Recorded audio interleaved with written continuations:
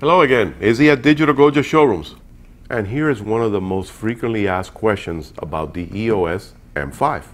If this video helps you out, remember to hit me up with a like button underneath and subscribe to the channel for future frequently asked questions such as this and to share with fellow photographers and videographers. And don't forget, when in Miami, visit Digital Goja Showrooms. Digital Goja Showrooms has one of the nation's largest in-store selection of authorized Canon cameras and lenses. Does it have a microphone input? Yes, it does. It does have built-in mono microphone connection, but honestly, if you're gonna do professional audio, you wanna use an external mic.